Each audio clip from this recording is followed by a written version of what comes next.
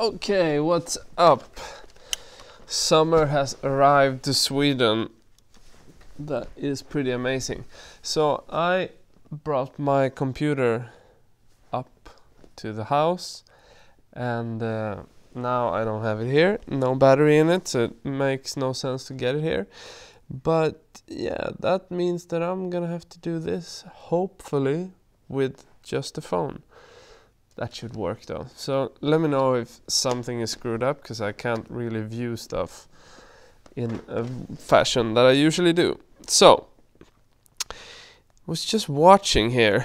So Matti Haapoja had done a video on being unique is impossible. Let me just see what he he wrote. So this is part of the new segment because it was on F stoppers. I thought I'd just do some form of like elaboration or response to Matti. Uh, hi, Matti. we'll probably see each other soon. Um, yeah, so how to find your style. Now, this is a huge topic. Everybody uh, is asking themselves this as some like at different stages in your career. Uh, and I think Matti is like spot on when he talks about like being unique is impossible, um, and how do you find your style? And I don't play it down as much as Matti does, because uh, I think it's crucial if you want to elevate your career uh, to the kind of next level. It's it really is like a crucial thing to find your style or develop your style, um, but being unique that is pretty difficult and yeah impossible. Everybody takes inspiration from stuff.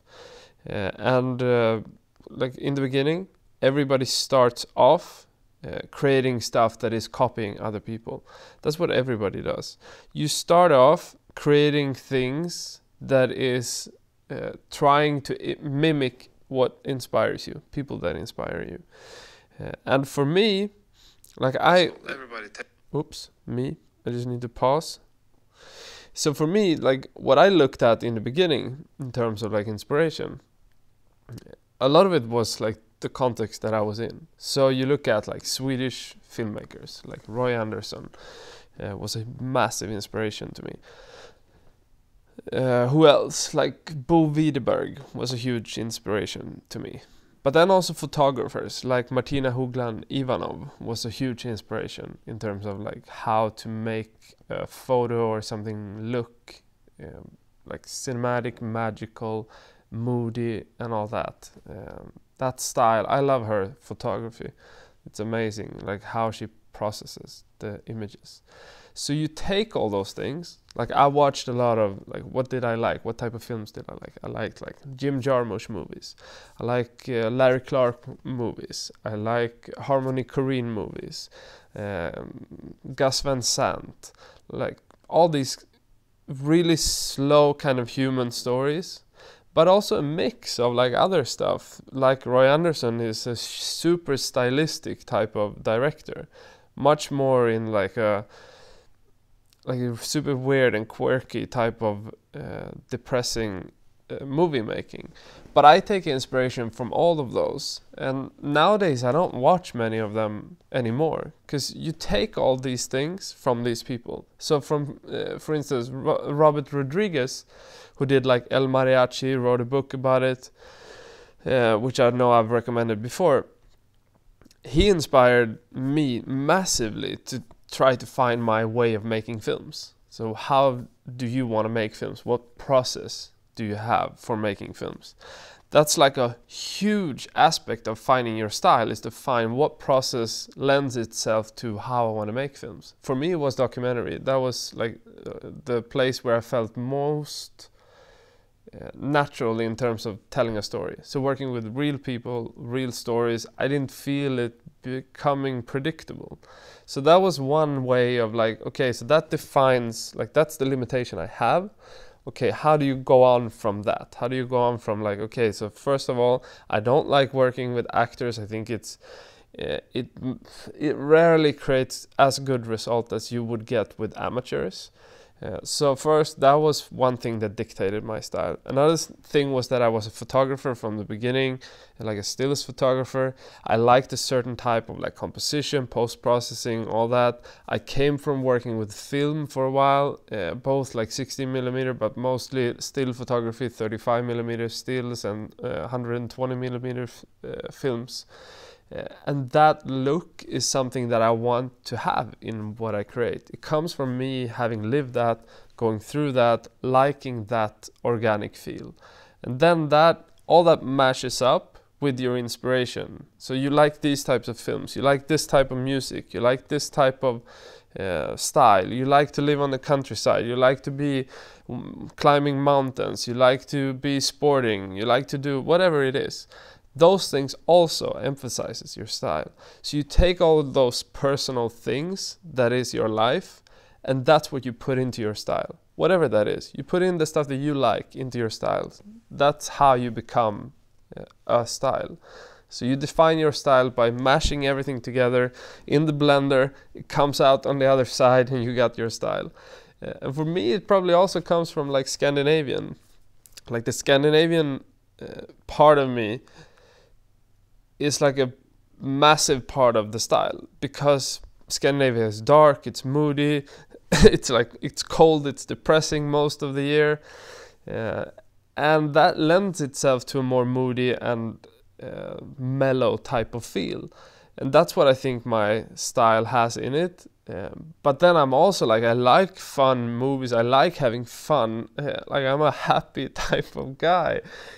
So that's also something that I try to get into the stuff that I do. But it's easy to be like one dimensional and only like as, as you start out, it's easy to just become one thing, so one style. So you can only create like moody stuff, and then that's what you become. I like to mash stuff together, so I like to have like a mix of everything. Um, if I can, I want to have you know happy moments. I want to have depressing moments. I want to have people going through a roller coaster in terms of feelings, and that also comes into style in the end. Like what type of stories do you tell? What type of shots do you uh, portray them uh, through? And uh, also the scenes that you create are they funny like Roy Andersson scenes, which a lot of people just think is weird and stupid and, and dumb and, and like pretentious. And I love that type of humor. Like it's the Finnish humor that like Aki Kaurismäki, who's like an amazing director, he also uses the same type of uh, absurdity.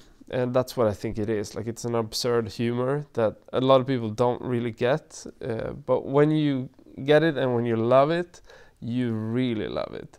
And that's what I try to incorporate also in the stuff that I make, like some form of um, I guess I don't like like I love watching Louis C.K. and that type of dark humor, but I can't do that. I'm not a comedian. But what I like is to have like the the sarcasm be part of what I do, and that comes into composition and those things as well. So also how I edit things, it is a part of the style that you create, and certain people will get that just from like the the nuances of it. You don't have to explain it to people and they will still get it. But certain people won't get it at all. And you just have to kind of find your style and find your way in, in all of that. And yeah, that's a long elaboration of all that uh, regarding style and everything, but uh, for me that's like a huge thing. like finding your style is crucial if you want to get paid. it's crucial. That's how you stand out. It really is. Uh, and if you don't have a style, you shouldn't be. You just have to kind of discouraged.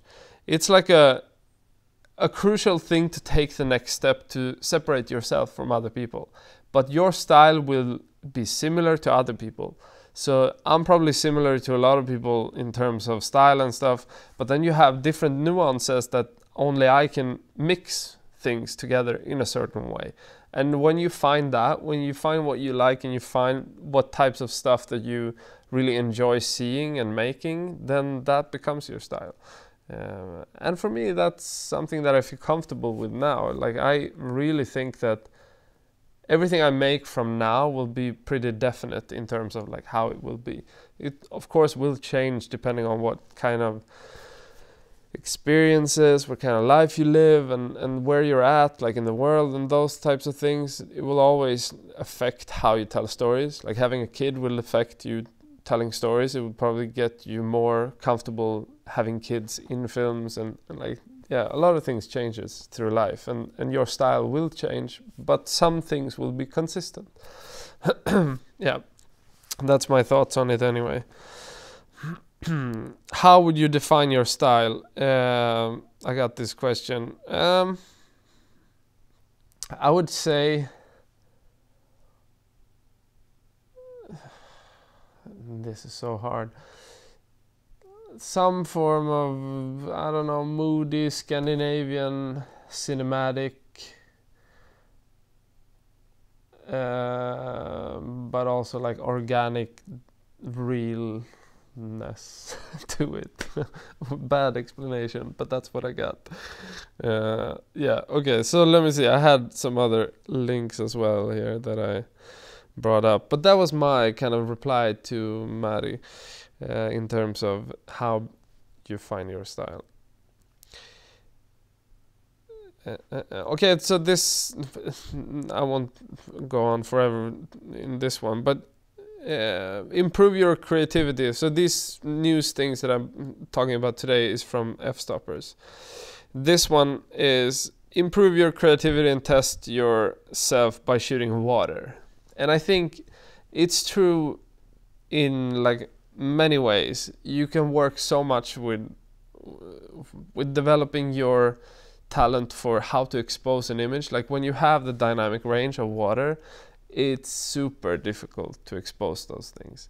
So playing with that, you can really get a sense of what you have to work with. I like underexposing my images. I love that. I love that type of uh, style that you get uh, in the blacks when you underexpose. But you need to have a camera that can handle that for you to do that. Otherwise, you need to crush the blacks, which is also an, an option. But uh, yeah, it it is a practice that I think most people should do. I had to go on like this um, shoot for eight days on a cruise uh, doing a TV show a couple of years back, and you really develop a, a, certain type of style from like shooting it for a while. You realize how the reflections act and, and all those things, and I think that's a good practice. So now that the water is out, go out, shoot some water. Uh, yeah. So let me see if I get a question I can mix this up with. How long did it take to make a living from filmmaking? Hmm. I mean, when I got out of film school, and I went to a shitty film school, just so you know, um, I started a company straight away.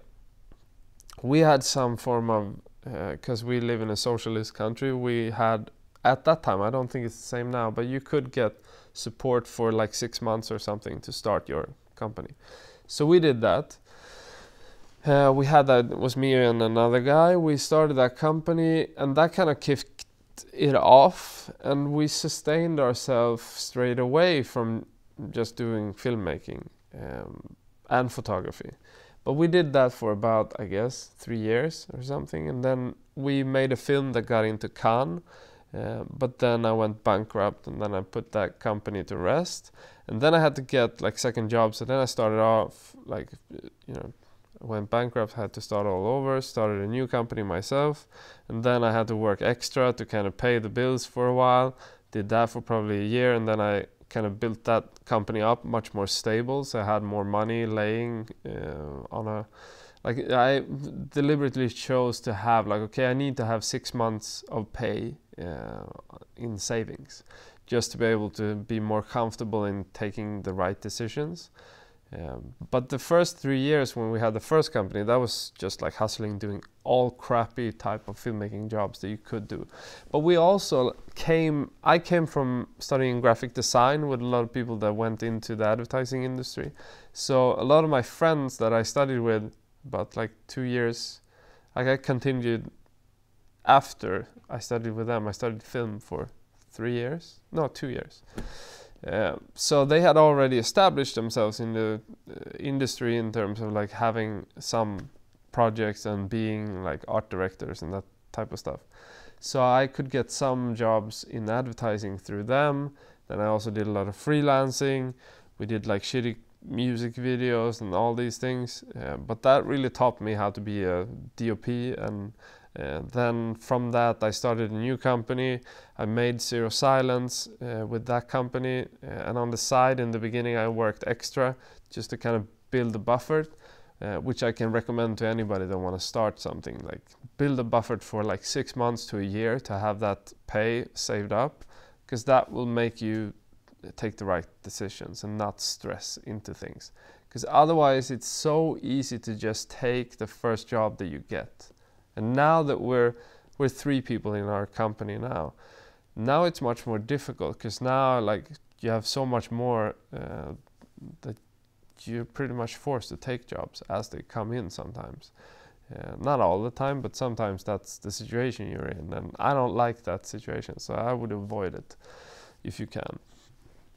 Um, yeah. Um, but it didn't take long. Um, okay, so let me see next news item. So, and, this is gonna be mashing things up, but industry news roundup and AI in photography was something that I saw.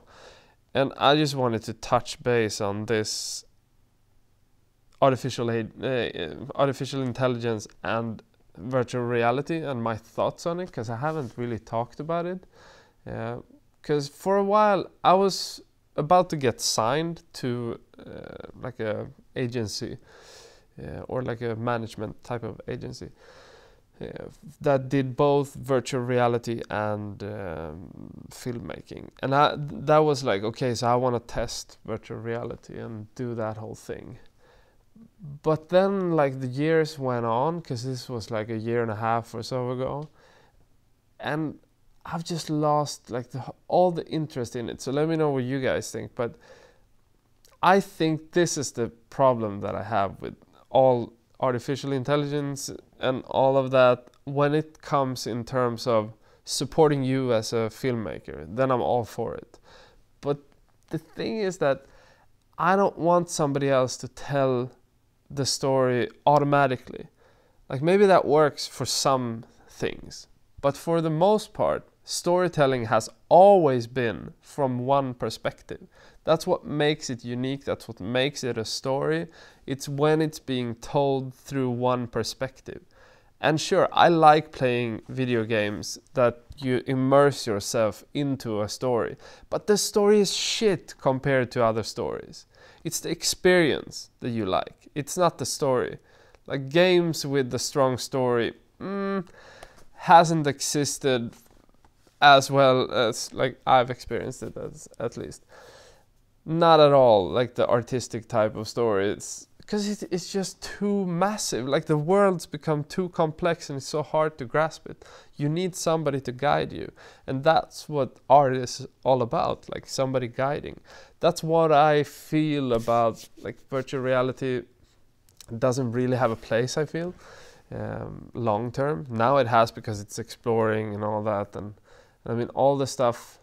Like I've seen one thing that I was super impressed with and that was uh, the Cirque du Soleil, which was like a go away, which was a um, it was a circus. It was Cirque du Soleil.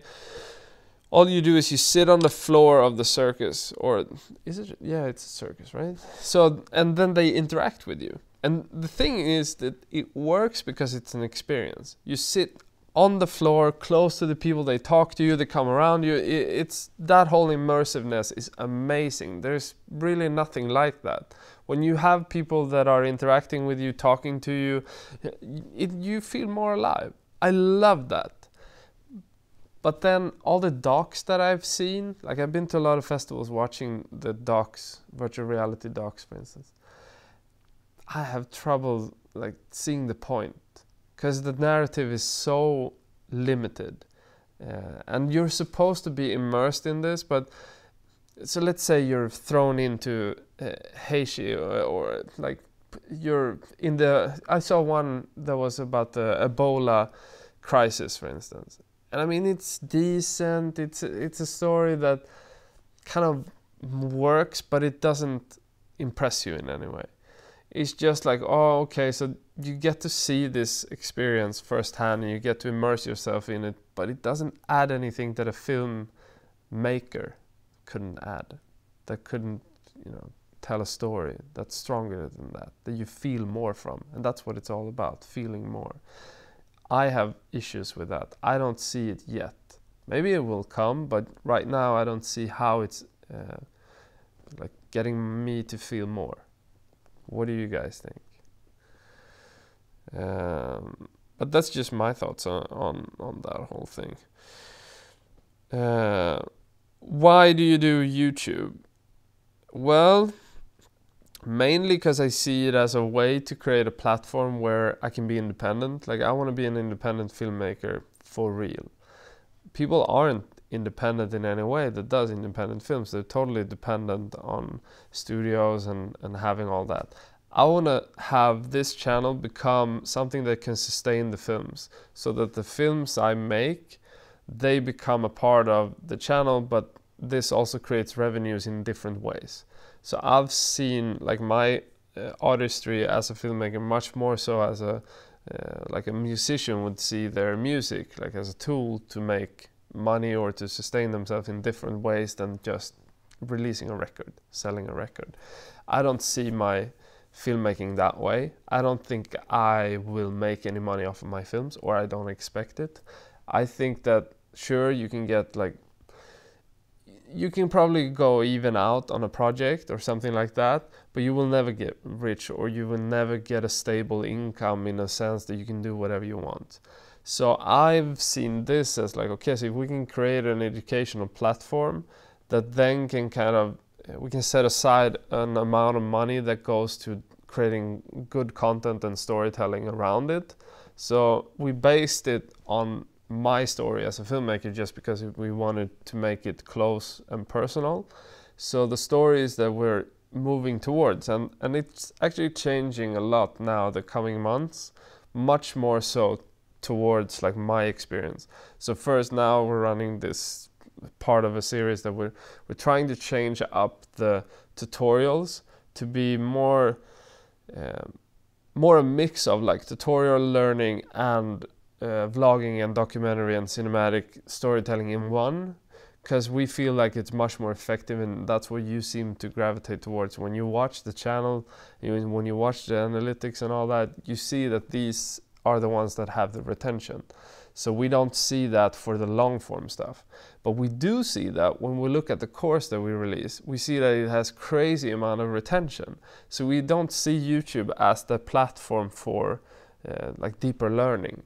Uh, you have like the base of YouTube being okay, so you can search for tutorials, but most people want it quick uh, and they don't want to sit for hours learning stuff. What they do want though is the personal stories and to have a connection with creators and, and kind of feel their lives and how they are making things. So that's what we're gravitating towards, I think, to show like YouTube channel being much more towards showing behind the scenes documentary uh, of like how we make uh, advertising, how we uh, do the next uh, feature film, and then showing that like we're starting with the feature film in a couple of weeks, uh, starting to show how we're making it, and then that's going to run on for like until the film is made and after, probably long after, it's going to be you know showing every step of the way, but in a more documentary way and not so much like tutorial. Okay, this is how I sold my film to Netflix and then talking about it. No, much more trying to catch it as it happens, showing it in a narrative uh, way and not uh, talking and explaining it in that sense. Because we feel like those works the best. Like we will still have like the tutorial based uh, stories, but it's going to be told in a more cinematic and, and narrative way. So not be so uh, like long outdrawn and, and all that because it works much better in the courses. Uh, but then on top of that, we also do like shorts that are more uh, just showing some form of uh, like vision or, or story or whatever it can be. So we mix that with those that are more like behind the scenes feely. Uh, and then sometimes it's going to be tutorials and all that but uh, i think the q&a lens is much more to like having direct questions about things and, and that works much better as a format i think uh, than the long drawn tutorials. Um, and when we can get that working when we can get this ecosystem working with like education you have sponsors coming in because it's a massive channel if that ever happens uh, but we all we do get sponsorships already like we get sponsored for the next film and doing behind the scenes for that so we're, we're at that stage where we're getting sponsors it's, it's not that we can live off it so when we get to that stage then this is going to be amazing but then we also do advertising, and we will continue to do that. And now we're launching series about that. So we've shot and we got in our contracts for everything that we've done for the past year and a half or so. We've always written the contracts so that we can use everything we shoot as uh, the YouTube channel. So we'll break down everything that we do, like how we've done it. We've had behind the scenes uh, photographers on set shooting all that. So we had a lot of material shot uh, to kind of break that down and tell a story around it. And the first thing is now we're running a series uh, about and the next episode comes out tomorrow i think it's going to be like a three part thing for now it's going to continue later on but it's going to be um, why I think advertising is dying and how I think it should evolve. That type of thing. Uh, we released the last episode or the first episode last week.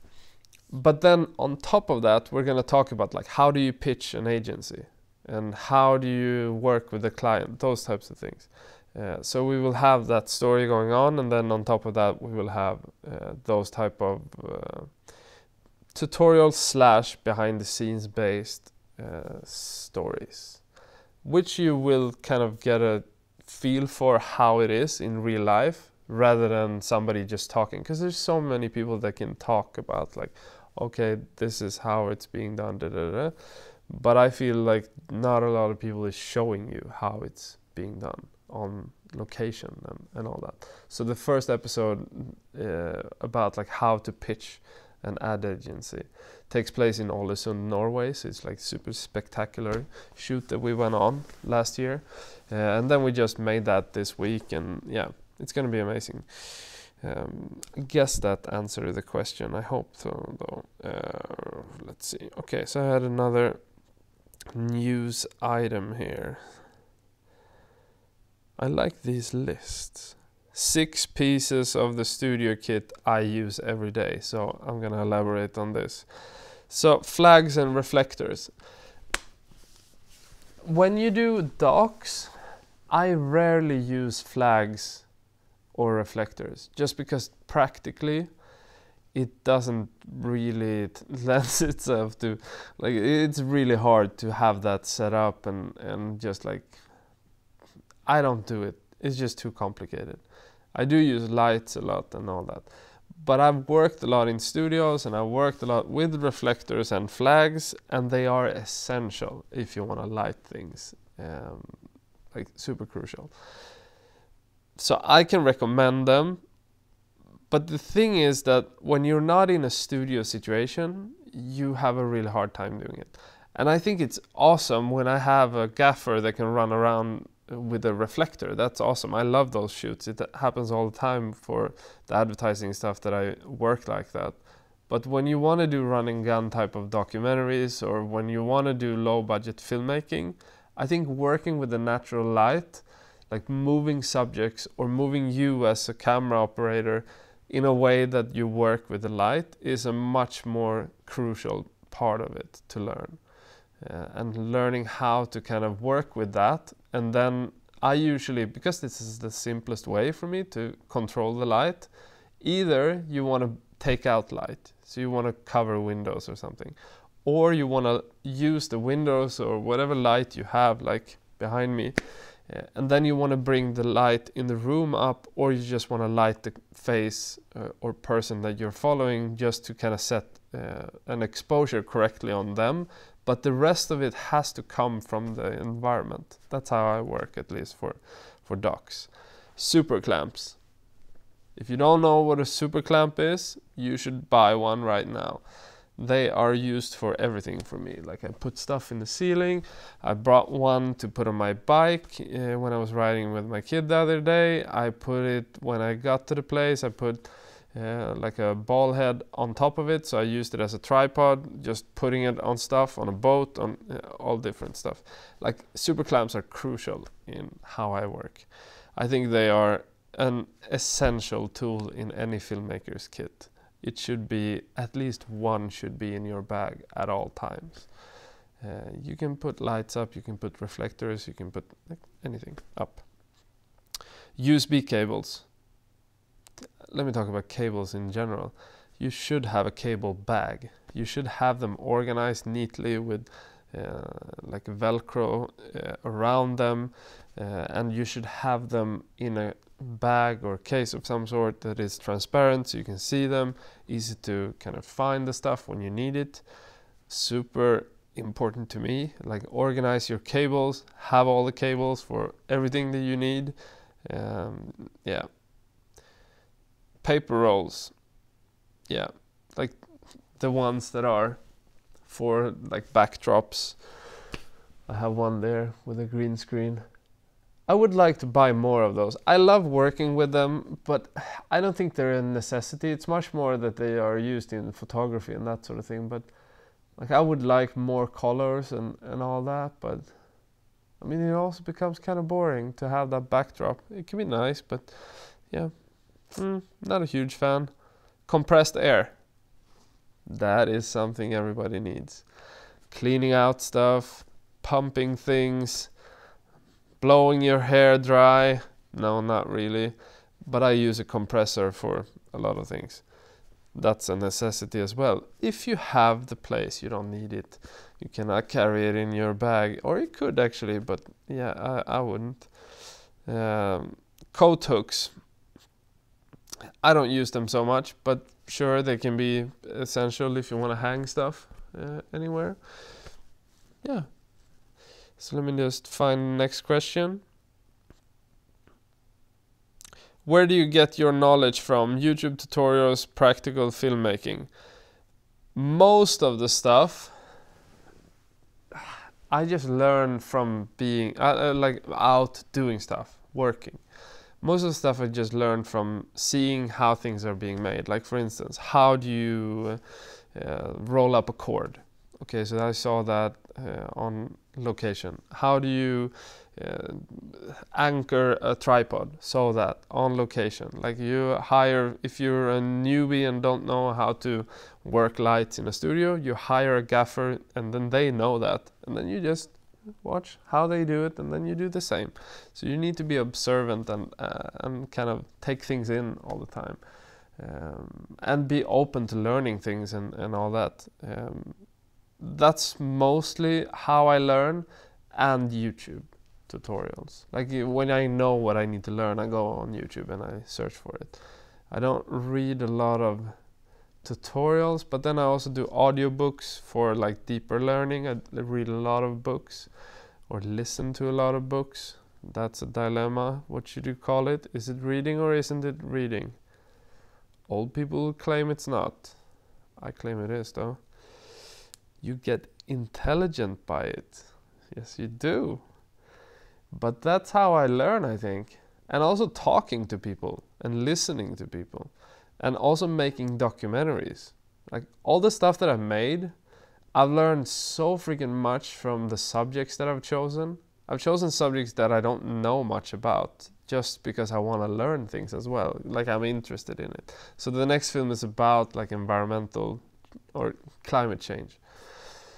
I don't know that much about it. Like I don't have any deep knowledge of it, but I have like a curiosity in trying to find out. I know that I don't want to put shit food in my stomach and that type of thing, but uh, I mean I, am not that type of uh, activist. So I just want to make a film about people and then explore the topic. So that's usually how I go about learning things. So you, you try to meet people, you try to learn things from yeah different uh, cultures and, and all those things. Um, that's probably how I learn the most. Mm, let's see. How do you market yourself as a filmmaker? Or did I miss one before that? Okay, so I need to go back for another one, but this one first then. How do you market yourself uh, as a filmmaker? Like it's pretty hard to get people to notice you if you don't make stuff. I think the best way to market yourself is to make stuff. Uh, if you can make stuff, um, then that's the like easily the best way to get uh, seen is to make stuff that gets exposure. So then you need to make the type of projects that are um, like getting exposed the right way. And if you aren't getting that, like if you aren't getting exposure, then you probably aren't either doing the right things to get to that place where you get the exposure, or you're um, in a kind of situation where you're not making stuff that is interesting enough. And then you need to focus. If that's the case then you need to focus on like learning practicing more. That's the only way that you can kind of get to that stage because you need to create projects that are being picked up and being seen and being shown. And like when we do stuff for like clients and just in general people show those things to other people as references or that type of thing. And that's where you want to be. You want to be the people that they take a video from and then show to the client or something like that or use to like portray a feeling in a pitch or something. And then when you have that when you're the reference then you know that they will call you to also do that stuff. So we try to be that that's why we put out a lot of stuff as well. Um, not enough i feel. Like we should focus more on instagram. I think instagram is amazing um, if you want to reach that type of people. Uh, and also uh, being like focused on having if you if you haven't yet had a short film that got Vimeo staff picked or something, then that's something that you should strive for. Much more so than having like a, festival premiere or something. If you can get that, then you have a way into the industry. But then you gotta develop from that and, and everything. Uh, uh, uh okay, so I'm getting audio delay 10 second from the audio. Is everybody getting audio delay? let me know. Uh, okay, so the other question I had was, who is your favorite YouTuber? Hmm, trick question. Like I wanna, I, I would probably, if I would just say it, I would say Casey Neistat, but I don't know if I wanna say that. Everybody would know that. I should probably say somebody else. Hmm. Let me check. Like, I can just run through a couple of them that I like. I like. Uh, I don't watch it all the time, but sometimes I love, for instance, what I think Justin Escalona is becoming as a filmmaker. Um, still very dependent on who he has as his friends in the house at the moment. Um, but that I like. Um, Elle Mills I like. Now she had a meltdown, so now I don't know what's gonna happen there. Um, but she's super talented. She's like super super talented. Um, who else? I'm more much more looking at like entertainment than I am like learning stuff is mostly mostly based on what I search for. Um, I hope that Dan Mace is gonna do uh, like Dan the director was what it was called earlier when he actually did stuff on YouTube. Now that he's uh, working with Casey, I, I haven't seen anything. Uh, so that's kind of uh, unfortunate because I think he's super talented. He's probably one of the most talented YouTubers out there, uh, but he isn't making stuff, and that's usually how it goes. Like people that have the best talent, they're not productive at all and they screw up for themselves in terms of careers because of that. They give too much to other people and, and they don't uh, focus on themselves enough. Now, I'm not saying that Dan is doing that because he's probably very elaborate about his decision working with Casey, but uh, I think that he's so talented that it would be a pity that he slows down this much.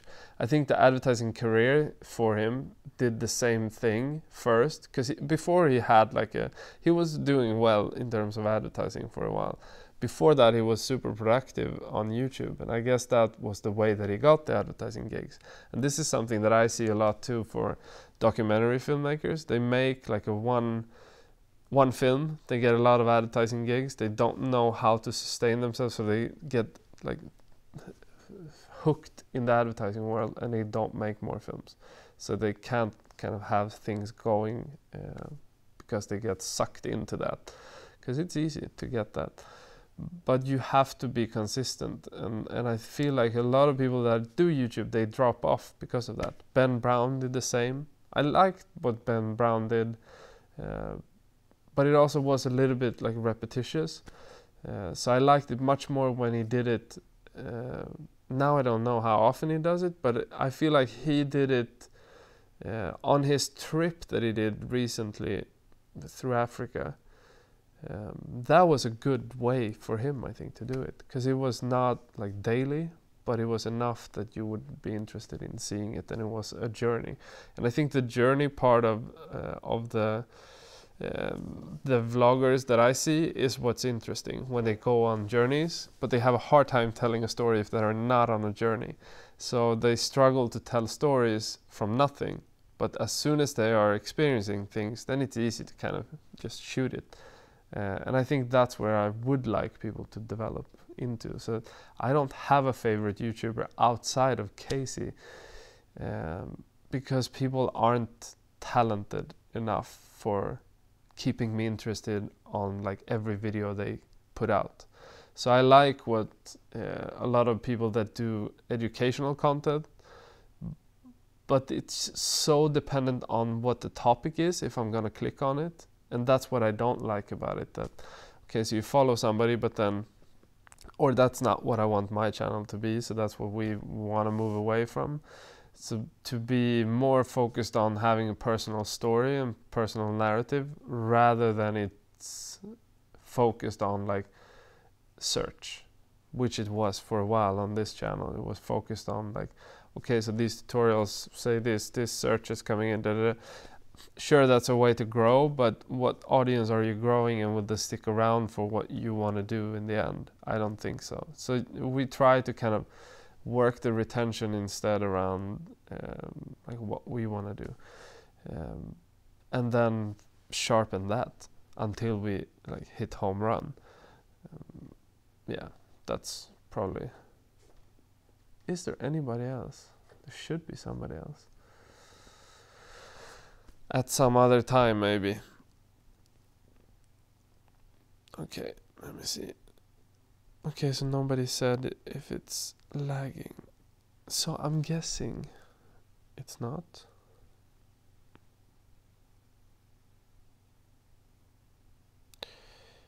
Uh, have you had any experience with Swedish YouTube networks? I have. We were signed to. Um, oh my god, blank. United Screens until very recently.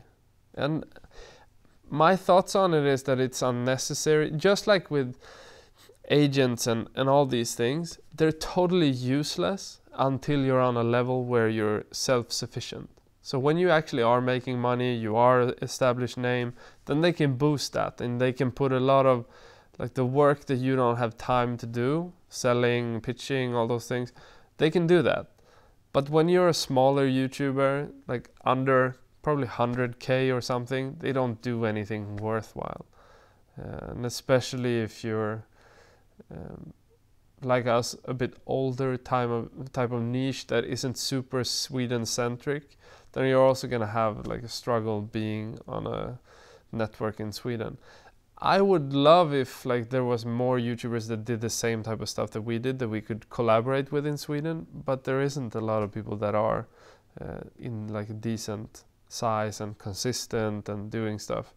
Um, that's kind of hard. I think in Norway they seem to have like um, around like Marcus Valor and like Mio and th- those type of people. They seem to have like a, a clique of people that actually can kind of boost each other and grow together. In Sweden, we don't really have that, unfortunately. So if you Swedes out there are planning to do something serious on YouTube and do plan to stick around, then that would be amazing. But at this point, it feels like it's just like, okay, so Jon Olsson does it in Sweden, but he's on a different level than we are at, so it's kind of hard to collaborate with him. Uh, and around our size, it's really hard to find somebody that's doing something in English, first of all. That's really rare in, in Sweden. Even though everybody speaks English, somehow they choose the Swedish language. Um, and I guess for some people that makes sense, but for us it never did because we work internationally and we have like all our films are in English, so we don't do a lot of stuff that isn't uh, tailored towards an international audience. Yeah, but that's just like my thoughts um, but outside of Sweden, I I can say this: all the people that I work with that has been on a network um, say the same thing as I do. Like they're useless if you're not huge, or they're useless if you also have a system set up for everything.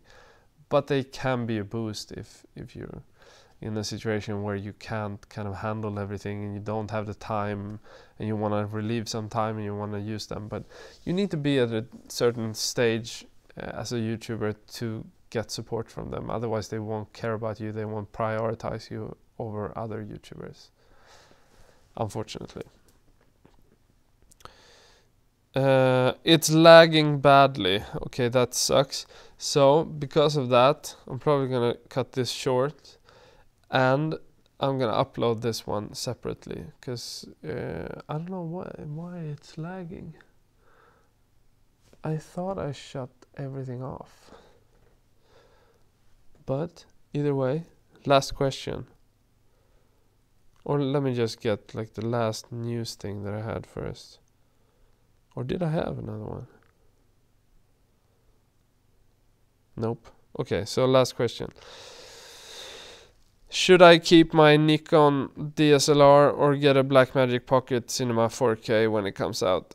I would say Blackmagic Pocket Cinema 4K. I heard like there was somebody else asking about uh, the pocket, last pocket, this pocket. Should you upgrade? You should definitely upgrade. If you want to get a second-hand type of camera, then the Pocket Cinema uh, last one is a really amazing choice. It's still a great camera, but if you want to have something that is like cinema quality